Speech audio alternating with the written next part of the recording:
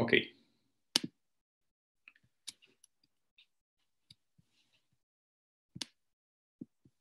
Tengo entendido que ustedes pueden hacer la, perdónenme, el caso lo tienen que colocar, estoy confundiendo.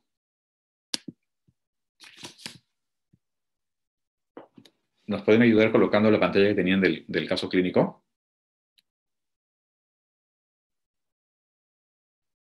Ok. Esta es una mujer de 36 años con una gestación de 29 semanas y 4 días por fecha de última regla que concuerda con una ecografía de las 9 semanas. Ella tiene controles prenatales regulares con hallazgos normales y no tiene ningún antecedente de importancia eh, previo a la gestación ni durante el embarazo. Ella es vista en el control prenatal y le encuentran una presión arterial de 150 sobre 100, tiene edema de miembros inferiores hasta muslos con fovea y no tiene ningún otro hallazgo clínico en ese momento ni refieren ninguna molestia. Entonces, las alternativas de respuesta son, uno, o sea que la pregunta es, ¿qué harían con esta paciente? Y las alternativas son, uno, referir a un hospital por emergencia, dos, solicitar exámenes de laboratorio por emergencia en su establecimiento de salud, que subimos que es un nivel 1, Tres, solicitar exámenes de laboratorio ambulatoriamente y reevaluar mañana, pasado o el lunes si estamos el día viernes. Cuatro, dar en ese momento nifedipino, verificar que la presión arterial se normaliza y después manejarla de manera ambulatoria. Marquen, por favor.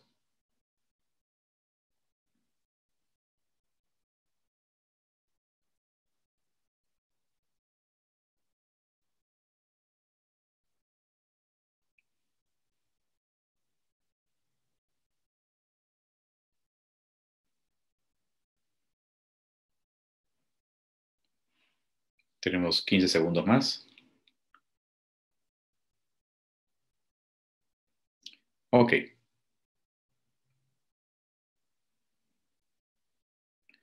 Perfecto.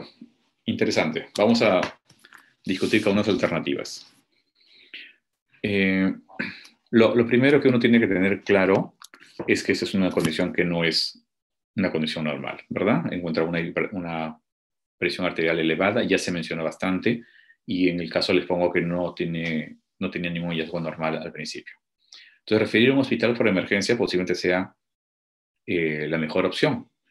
Mi repregunta sería, ¿qué tan fácil es para ustedes en un establecimiento de primer nivel referir a una paciente por emergencia, ¿no? sobre todo en las condiciones actuales?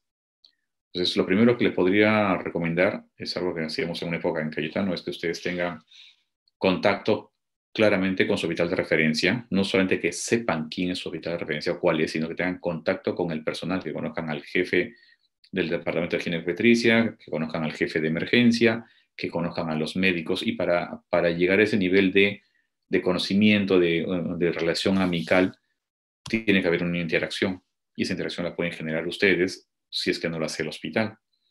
Y es mucho más fácil referir a un paciente cuando yo conozco al médico hasta el otro lado o cuando yo tengo una conversión previa, yo aviso. Y si, si en el hospital de referencia eh, no tienen la capacidad de, referir, de recibir en ese momento, sí me podrían ayudar consensuando algún tipo de manejo diagnóstico que vamos a hacer.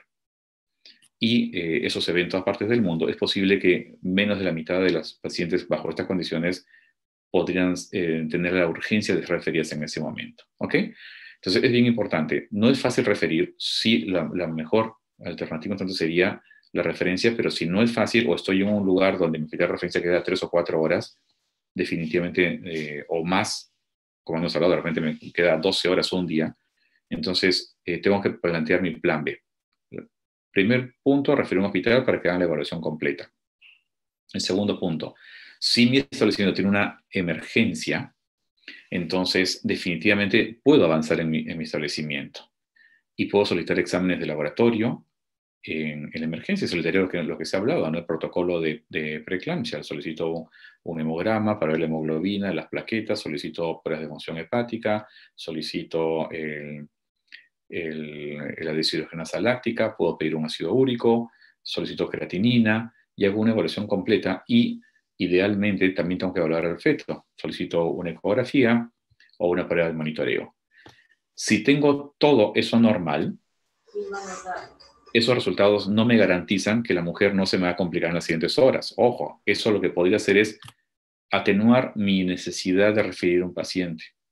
Pero ojo, yo estoy haciendo igual la comunicación en el hospital. Tengo una gestante de 29 semanas con una presión arterial de 150 con 100, le he hecho todo el laboratorio y está normal. El feto está normal y ahí pueden concordar qué hago. ¿Ok? La puedo referir más tarde, la refiero mañana, cuál va a ser el manejo, pero tiene que ser un manejo, un, manejo consensuado. ¿Cómo voy a, manejarla en adelante? Acá la, siguiente pregunta de este caso sería, ¿existe alguna posibilidad que teniendo 100, 150 con 100 a la semana 29 se va a mantener como una preeclampsia sin signo de severidad o como una hipertensión gestacional que no va a llegar a preeclampsia? es poco probable, ¿verdad? Mientras más temprano comienza la, complicación, es más pronto, eh, es más probable que haya una, una severidad. Y eso es lo que vemos, como le digo, en el comité de muerte materna, que vemos una, que le encuentran un hallazgo y como se confían porque la ponen en reposar y la presión baja a 140,80, 130,70, se tiene laboratorio y resta tu control en dos semanas o en un mes. Y eso sí es crítico. Esta mujer tiene algo anormal. Ese edema en miembros inferiores hasta muslo no es normal. Podría ocurrir en algunas mujeres, pero me llama la atención, no es lo habitual. Solicitar exámenes de laboratorio y manejarla ambulatoriamente, eh, o sea, solicitarla ambulatoriamente y revaluar no es una buena conducta.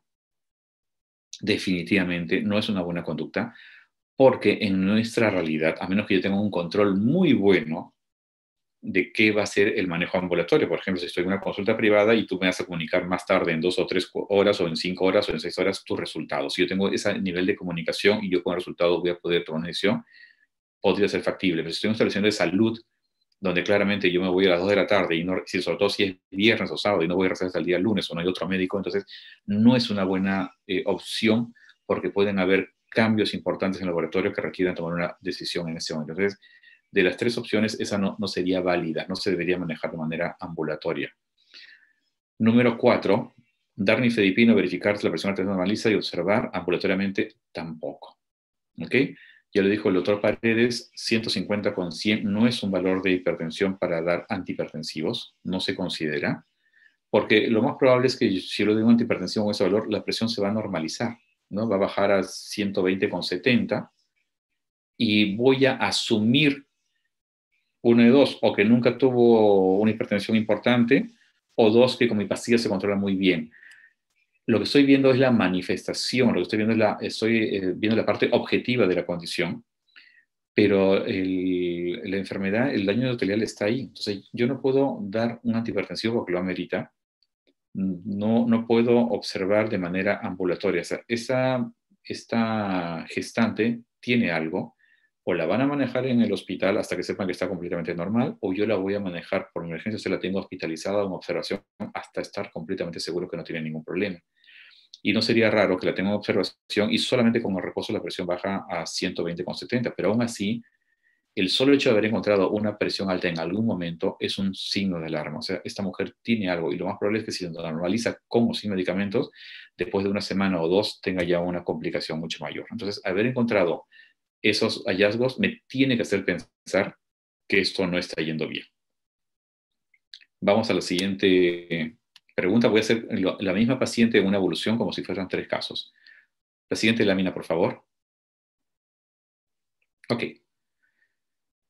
Esta mujer finalmente se le hacen los exámenes de laboratorio. Encontramos que tiene una hemoglobina de 12.1 a la semana 29, un hematocrito de 34.7.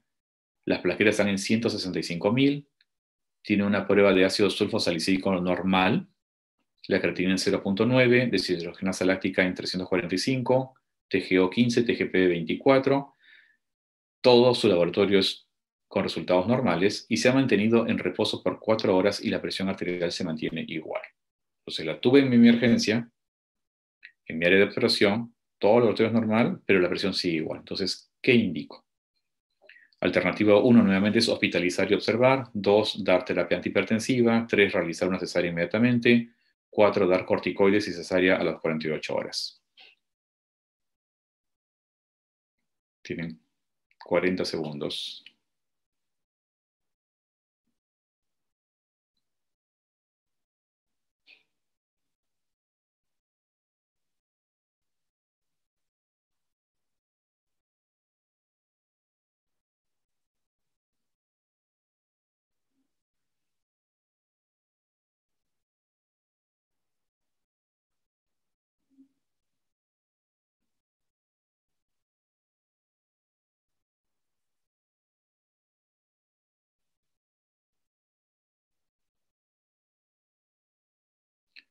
Ok. Perfecto. Eh, la gran mayoría está de acuerdo. Esta mujer tiene algo. El hecho de que no tenga síntomas premonitorios, el hecho de que tenga el laboratorio normal, de ninguna manera significa que no tiene nada. ¿Ok? Tiene hipertensión que es suficiente. Entonces, lo mejor en este caso sería hospitalizar y observar, porque no sé qué va a pasar. Hemos tenido pacientes, eso creo que lo hemos visto todos los ginecólogos en algún momento, paciente que tiene una hipertensión aparentemente leve, una hipertensión leve, y después de 12 o 24 horas está con un DPP o está convulsionando, o sea, no nos garantiza absolutamente nada. Entonces, lo mejor es hospitalizar y observar. Insisto, la progresión de la enfermedad, la velocidad en la cual va a, a convertir o aparecer los signos de severidad es impredecible. Nadie puede saber si después de algunas horas tengo un problema o después de dos semanas recién va a aparecer. Entonces, lo mejor es hospitalizar y observar. Dar terapia antihipertensiva, insisto en lo mismo, ese no es un valor de hipertensión que sea un problema. Lo que me dice ese, valor de hipertensión es que no es normal, pero no tengo indicación para dar una terapia anti, antihipertensiva. En tercer lugar, realizar necesaria inmediatamente, no, no tengo ningún motivo para interrumpir el embarazo. Si a este caso yo le hubiese encontrado las plaquetas en 56.000, la deshidrogenasa láctica por encima de 1.000, eh, las transaminasas también por encima de 1000, sí es un cuadro severo y lo que queda es el, parto inmediatamente. Estamos en el grupo, como les dije, de la, de la, de la edad gestacional en la cual uno podría dar una estabilización de 48 horas, pero con esa severidad es poco probable que logre algún beneficio para el feto o para la mamá. Pero sí podría iniciar un tratamiento inicial para ir corrigiendo. Por ejemplo, si estuviésemos en la segunda condición estoy poniendo con plaquetas muy bajas, lo que podrían avanzar en la emergencia es poner eh, corticoides para mejorar esa plaquetopenia mientras van buscando hacer la referencia al lugar de, mayor complejidad. ¿Ok? Entonces, no, no, se olviden, esta mujer no tiene síntomas, llegó al control prenatal, pero estoy encontrando todo esto porque así puede debutar la preeclampsia con signo de seguridad y así puede debutar el síndrome de HELP. Dar corticoides a las 48 horas, eh, ahí viene el tema, ¿no? Dar corticoides con, esta, con este laboratorio en este momento puede ser discutible, tengo solamente hipertensión de 150 con 90, no tengo claro si es un síndrome de Hell, si es una preeclampsia, eh, tengo el primer examen que es el ácido sulfosalicílico negativo, o sea, no tengo, no tengo el diagnóstico, como dijo el doctor Saúl, no tengo los criterios para decir que es una preeclampsia. Yo sé que no es tan normal, pero no tengo criterios y tampoco no tendría un criterio para dar en este momento un manejo de esa, de esa naturaleza. Cuando yo hospitalizo y observo, voy a ver qué ocurre en las siguientes horas o días y ahí es cuando voy a comenzar a dar los antihipertensivos que son necesarios, voy a dar los corticoides que fueron necesarios, eh, porque acuérdense que está demostrado que eh, mientras más número de, ciclos de corticoides doy, el pronóstico para el recién nacido va empeorando con respecto al peso. Eh, para la madre puede ser que sea un poco mejor, pero las condiciones para el feto no son las mejores. Entonces yo debo reservar el uso de corticoides cuando estoy eh, medianamente convencido de que el parto eh, debería ocurrir en los siguientes siete días. Y en este momento, con este laboratorio y con esta clínica, no lo tengo. Si yo lo observo y comienzo a hacer picos, eh, picos de hipertensión de, de mayor, mayor, a 160 con, con 110, yo sé que definitivamente, por más que después se normalice, esto va a acabar mal. Entonces, en ese momento decido dar corticoides. Pero con este único valor, sin síntomas y sin laboratorio anormal, no estaría indicado aún dar corticoides. ¿okay? Podría ser finalmente, aunque es raro con 29 semanas, que esto se quede como una hipertensión gestacional. Es muy raro porque está debutando de una manera muy temprana. El tercer caso, por favor.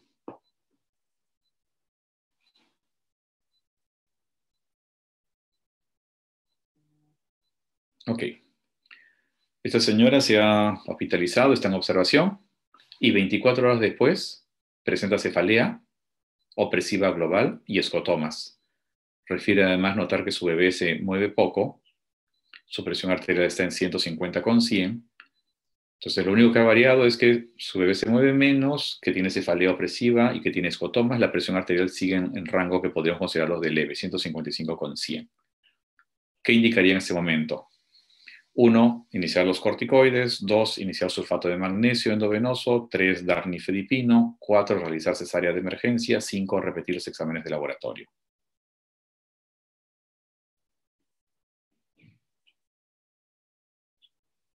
Igual 40 segundos.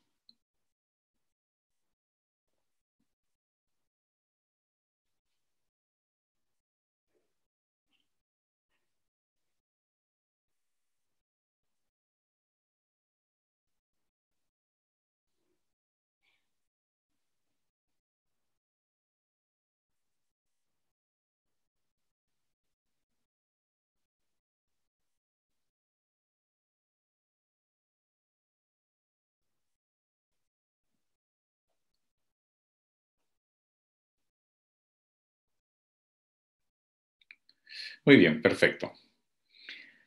Los síntomas que ella tiene son muy, muy sugerentes de que podría convulsionar, ¿verdad? Ya tengo hipertensión. Acuérdense que, que en la clasificación actual del Colegio Americano yo tengo diagnóstico de preeclampsia con hipertensión y proteinuria o con hipertensión sin proteinuria, pero con alguna sospecha de severidad. Entonces, yo estoy sospechando que esta mujer podría estar eh, pronta a hacer una eclampsia o puede estar pronta a hacer, o no pronta o medianamente pronta a hacer un síndrome GEL, porque los síntomas, como les dije, pueden ser esos, cotomas y cefalea, puede ser eclampsia, puede ser GEL. Pero lo que más me puede complicar inmediatamente es que convulsione. Entonces, mi primera medida totalmente de acuerdo, iniciaría sulfato de magnesio. Y ahí lo que decía el doctor Paredes, si yo estoy en el primer nivel de atención, imagínense que esta chica la tuve en mi centro de primer nivel o de segundo nivel, no tuve la posibilidad de hacer la transferencia porque el hospital me dijo, no tiene laboratorio normal, no tiene síntomas, tenla contigo, obsérvala. Si el hospital les dice, dale de alta, no le daría de alta, la observaría.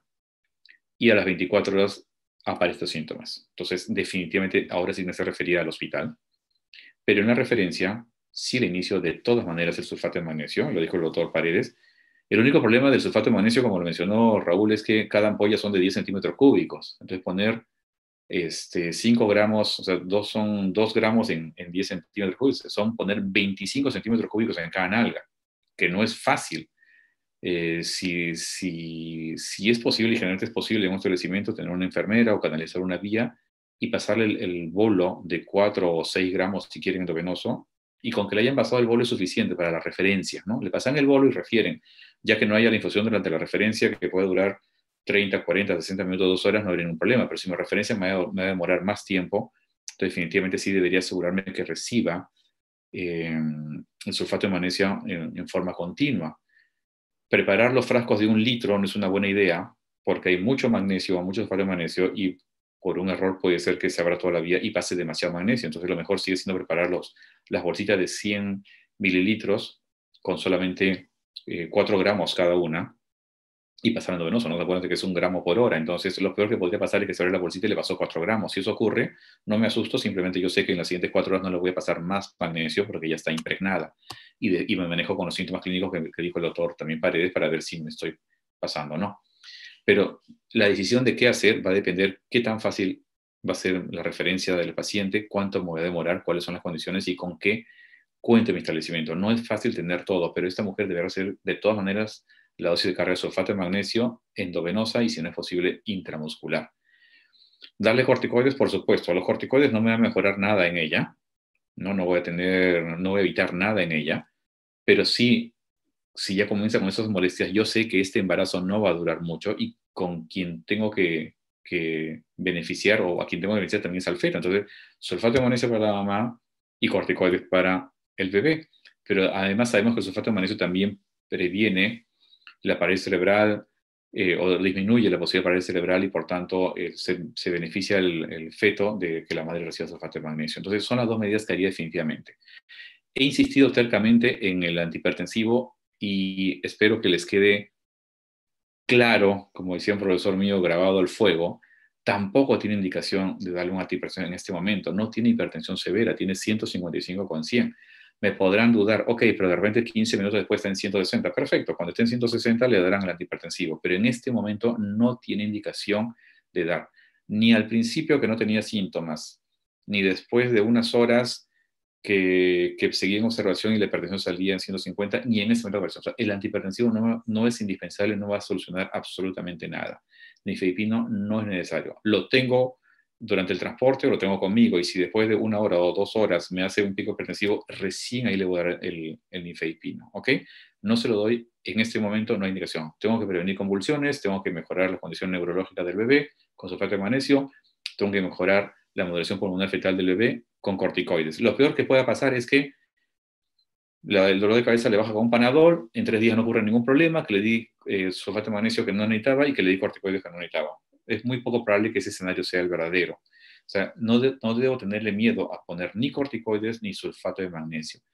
En las condiciones reales de referencia, incluso dentro de la ciudad, entre que esperan que venga la ambulancia, entre que esperan que el hospital este, les acepte, pueden pasar 6, 8, 10 horas y son 6, 8, 10 horas en las cuales una dosis de corticoides puede haber tenido un impacto importante para el beneficio del recién nacido. O sea, uno no debe asumir, ya le ponen cuando llega al hospital, porque a veces eso no ocurre. Entonces, uno pone rápidamente de magnesio y pone sus corticoides. Realizar cesárea de emergencia todavía no está claro, ¿okay? porque eh, muchas mujeres le ponen el sulfato de magnesio, mejora el dolor de cabeza, el laboratorio sigue completamente normal y puedo seguir haciendo un manejo expectante. Todo esto no hay un no es una receta de cocina, no hay un parámetro estricto de qué es lo que voy a hacer. Uno va a tomar las decisiones en función a cómo se va desenvolviendo. Si a esta mujer le pongo sulfato de magnesio, el sulfato de magnesio también tiene un efecto vasodilatador y es posible que la presión arterial regrese a 150 con 100 o 150 con 95, es una presión tranquila, desaparece el dolor de cabeza, después más, me da tiempo para preparar, evaluar, hacer la ecografía doble, ver otras condiciones y ver si realmente necesito eh, provocar el parto. Y si todo está completamente normal, es posible que esta mujer pueda seguir embarazada una o dos semanas. Eso nos ha ocurrido muchas veces, que tienen los síntomas premonitorios, damos sulfato magnesia, desaparecen y después y nosotros mismos estamos en la duda, ¿qué hago ahora con esta mujer que su laboratorio es normal, que ya no tiene premonitorios, le doy de alta o no? Si ya tuvo una vez un pico de hipertensión leve, si requirió sulfato magnesia por signos esta mujer no se puede ir a su casa. Esa mujer se va a ir a su casa puérpera, no se va a ir embarazada. ¿Ok? y repetir los exámenes laboratorio definitivamente. ¿No? Eh, lamentablemente esta pregunta no permitía hacer marcar múltiples respuestas, pero hay que repetir laboratorio.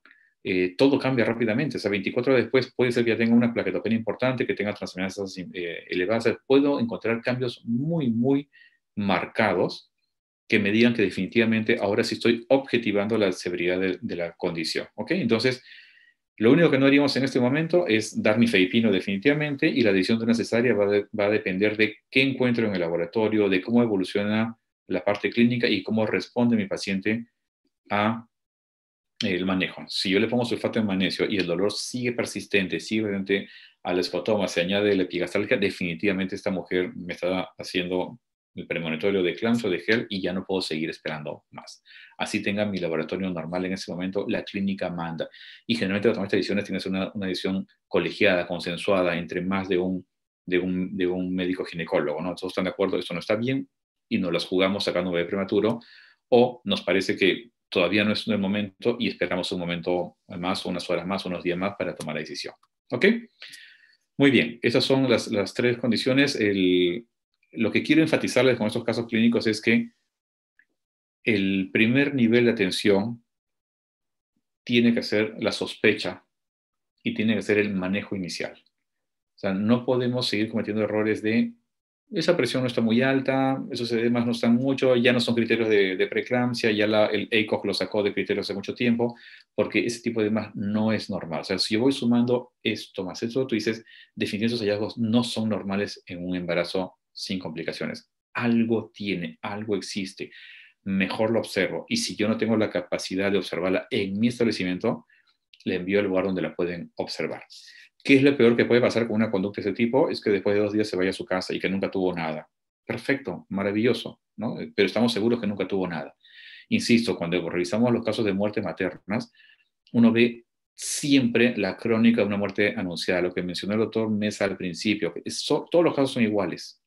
La única situación en la cual no ocurre un caso como ese es una mujer que no tiene control prenatal y que llegó súbitamente con la complicación y que les va a llegar en la emergencia. Llega convulsionando, llega con el DPP, llega con el óbito fetal, llega con la hemorragia. Pero la gran mayoría de pacientes con control prenatal, uno va viendo que en algún momento de control prenatal alguien no prestó la atención adecuada, alguien no dijo, esto es un signo de alerta, es un sistema, alguien no dijo, acá hay algo más raro. Y si a uno le parece algo raro, de repente no voy a hacer nada especial, pero le digo, ok, regresa mañana o regresa una semana, no regresa en un mes, que es el control de porque yo sospeché algo, o sea, algo no me gusta de lo que estoy viendo. Y así es el manejo de la, eh, de la preeclampsia, eh, del síndrome HELP. No, no debuta de un momento a otro, es una progresión de signos y síntomas que uno va encontrando, la ganancia de peso excesiva, presión normal, no hay edemas, pero está ganando de peso sostenidamente. Y lo mínimo que debo preguntar a un paciente que me ganó un kilo en una semana o que consecutivamente va ganando un kilo por semana durante dos semanas o tres y que no tiene nada más, le pregunto si está comiendo más y que ella considera que lo que está comiendo justifica esa ganancia de peso. Y van a encontrar como que dicen, no, yo estoy comiendo lo, lo de siempre, pero de peso. Entonces dice, no, eso, eso no es normal. Si come lo de siempre porque está ganando tanto peso, algo está pasando. Entonces uno tiene que estar atento a eso. ¿Ok? Y lo que eh, quería decir con respecto al estudio que mencionó el doctor Paredes, lo del ASPRE, es la aspirina. Es un estudio que tiene cuestionamientos y a veces nos enamoramos más de una medicina que de la otra, ¿no? Los americanos no aceptan ese resultado, ¿no? El, el sigue manejando la aspirina entre 80 y 100 miligramos, porque ese estudio es bueno, es interesante, pero le faltó algo importante, que fue un estudio que comparó 150 miligramos de aspirina con placebo, no comparó con 100, con 80 y con placebo. Si yo quiero demostrar que 150 es la mejor dosis, yo debía haber hecho 150 versus 100, y esa es la crítica que tiene ese estudio. Entonces, por este motivo es que si yo ya demostré que con 100 funciona, con 80 funciona, demuéstrame que 150 es mejor que 100. Y si yo en mi estudio de 100 tuve un 40% de reducción de las complicaciones y en el estudio de 150 tuve un 70%, ok, eso es por la población, el momento, los criterios diagnósticos, pero la única manera de demostrar que uno es mejor que otro es en simultáneo. Por eso es que, y eso lo digo para, para, ayudarlos un poco, ¿no? Porque si yo tengo una paciente, y he visto algunas preguntas al respecto, y estoy pensando en darle aspirina, si yo le digo que vas a tomar una pastilla y media o dos de la otra, se me va a complicar. Posiblemente la adherencia va a ser menor, el costo va a ser mayor y no lo va a poder asumir. Entonces, si yo sé que 100 funciona, con 100 nos podemos quedar, ¿no? Como digo, el ACOG no acepta eh, ese estudio, los europeos sí lo, han, lo, manejan porque ellos son los que han hecho el estudio, ¿ok? Muy bien, este, Pedro, tenemos varias preguntas. ¿Tú vas, vas a responder algunas si no me equivoco? Eh, bueno, hemos estado respondiendo algunas preguntas en el, en el chat. Ok. Este, eh, pero no sé si es que habrá alguna en particular que quieras este, responder al aire. Eh, te iba a preguntar lo mismo, de todas las que tú has respondido, ¿hay alguna que quieras compartir al aire? Eh, bueno, eh, yo creo que lo que tiene que enfatizarse es que la hipertensión en la gestación es, ah, tiene que ser un, un, seguimiento muy cercano. Entonces, ah, si uno encuentra pacientes con diagnóstico de preeclampsia sin signos de severidad en un momento, eh, debe hacer una hospitalización de la paciente y eh, un seguimiento con exámenes de laboratorio cada semana o dos veces por semana, dependiendo de la evolución del cuadro clínico, eh, para determinar en qué momento esa preeclampsia sin signo de severidad se convierte en una preeclampsia con signo de severidad. Y como se ha mencionado, el tratamiento de la preeclampsia es la terminación del embarazo y poner en la balanza el riesgo y el beneficio de mantener un embarazo eh, que puede eventualmente beneficiar al bebé, pero eventualmente puede también perjudicar seriamente a la madre. Es un equilibrio que a veces es difícil de, encontrar.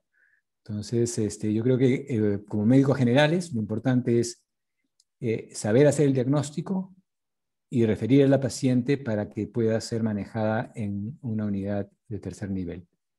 Esta paciente es como se ha mencionado, de un momento a otro pasan de una preeclampsia leve a una preeclampsia con signo de severidad y hacer las referencias en forma adecuada, con su vía, con su dosis de, sulfato, si tiene algún signo de severidad.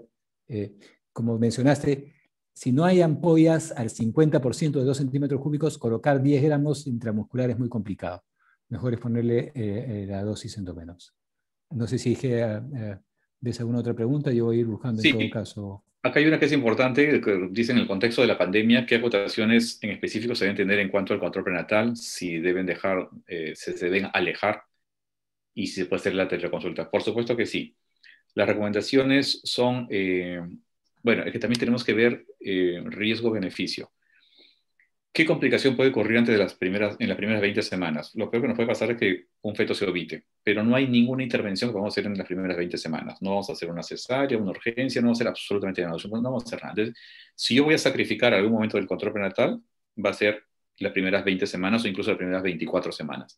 Lo que debo estar seguro es que es un feto que está intraútero, y que no hay, y hacer una evaluación para ver tamizajes de riesgo para el resto del embarazo. Entonces, se recomienda que durante las primeras 20 semanas del cuerpo podría haber un solo control prenatal, una ecografía temprana para ver que el feto está dentro del útero y de ahí dejar en espontáneo. Si se ovita, lamentablemente iba a ser lo mismo con control o sin control. Y en esa única, eh, en ese único encuentro antes de la semana 20, deberías tratar de sacar la mayor información, una buena historia, valorar factores de riesgo, eh, busca para infecciones, anemia, sea, tratar de, de, hacer todos los eventos en una sola visita.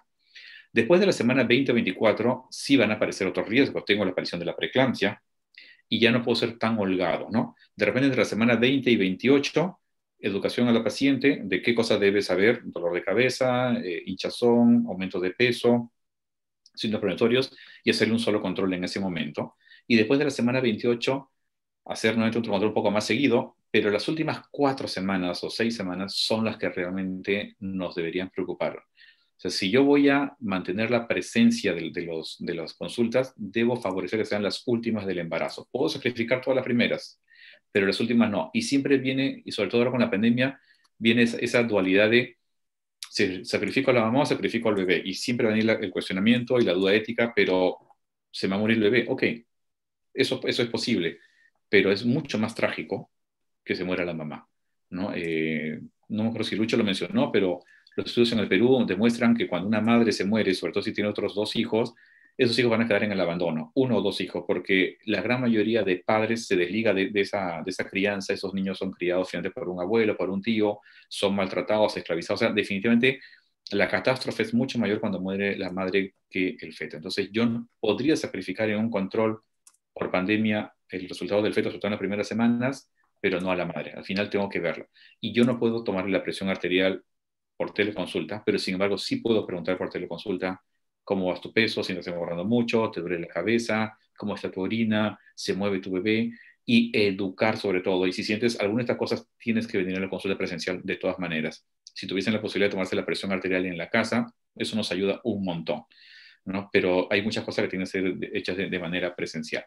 La otra cosa que preguntan acá es sobre qué exámenes deben tomar de manera eh, en la consulta en una mujer, o sea, preconcepcionales, hay que hacer una buena evaluación, buscar para infecciones, eh, pregunta por TSH y si es una buena medida, no estaba incluido dentro del, esquema de control prenatal, pero sí es una buena medida ver la función tiroidea, porque se ha demostrado que cuando la TSH está un poco elevada, por encima de 2.5 a 5, hay más riesgo de abortos, hay, mayor dificultad para lograr embarazo y estando ya embarazada también eh, la mamá tiene algunas complicaciones. Entonces sí es una buena idea tomar una, evaluar su estatus de, de función tiroidea antes, glucosa, si es una mujer joven, la posibilidad de que tengamos una diabetes tipo 1 en el Perú es muy baja. Si es una mujer mayor con sobrepeso, sí posiblemente la glucosa sea un poco más, más útil ¿no? para hacerla antes del embarazo. Y lo, si se utiliza el ácido eh, sulfato ferroso, perdón, como prevención en el primer trimestre o no, tenemos igualmente la, el problema, la gran mayoría de la población en el Perú no tiene un buen acceso a alimentos con hierro, el consumo de carne sigue siendo costoso y eh, no, no, es una mala idea dar hierro preconcepcional, ¿no? sobre todo si yo sé que en la dieta no consume buena cantidad de hierro o tengo un examen de laboratorio que me confirma eso. Pero en el primer trimestre no es una buena idea porque muchas mujeres tienen náuseas, vómitos y el hierro les incrementa las molestias. ¿no? Entonces, tampoco no tengo la urgencia, a menos que ya comience el embarazo con anemia, no tengo la urgencia de darle hierro en el primer trimestre, se lo puedo posponer para el segundo, como recomienda la OMS y son las, nuestras normas nacionales también. Ok, creo que eso es lo que quería mencionar. Hay otros tipos de preguntas, pero creo que los hemos ido resolviendo en el, en el, en el camino. Okay. Eh, quiero agradecer a Raúl, al doctor Saona, al doctor Mesa eh, por sus presentaciones. Yo sé que ha sido un poco extenso, espero haber colaborado con todos los médicos generales y quiero agradecer también al doctor Antonio Ciudad por poner su confianza en nosotros para, uh, como representantes de la Sociedad Peruana de Obstetricia y Ginecología, poder compartir con ustedes esta reunión. Muchísimas gracias. Lo dejo el doctor Antonio Ciudad. Bueno, yo eh, no, no, me queda más que agradecer al doctor Levano, que es el actual secretario de Acción Científica de la Sociedad Peruana de Obstetricia y Ginecología, quien ha coordinado realmente de una forma muy profesional y muy adecuada esta, esta mesa, esta jornada científica hoy día. Agradecer al doctor Saona, este, al, al, doctor Paredes y al doctor este, Mesa por sus brillantes presentaciones y nos vemos nuevamente el día miércoles y viernes para continuar con esta jornada científica. Muchísimas gracias. Muchas gracias. Gracias, doctor, gracias, doctor León. Ah, perdón. Sí, van a tener una encuesta a los médicos participantes. Gracias, colegas. La tienen que llenar, por favor.